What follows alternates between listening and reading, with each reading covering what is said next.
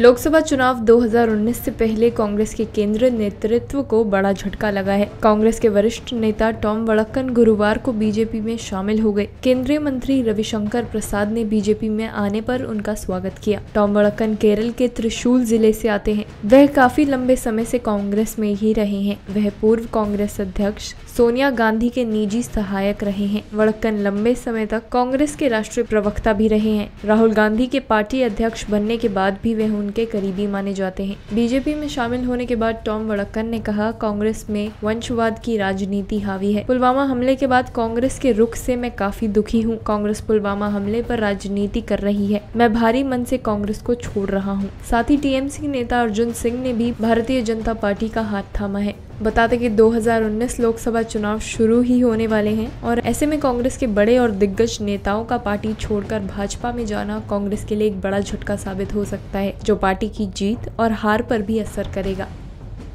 देश और विदेश से जुड़ी ऐसी ही तमाम खबरों के लिए बने रहें हमारे साथ। अगर आप ये वीडियो फेसबुक पर देख रहे हैं तो इस वीडियो को लाइक ज़रूर करें। और अगर आप ये वीडियो यूट्यूब पर देख रहे हैं तो हमारे channel Punjab Kesari dot com को सब्सक्राइब करना ना भूलें।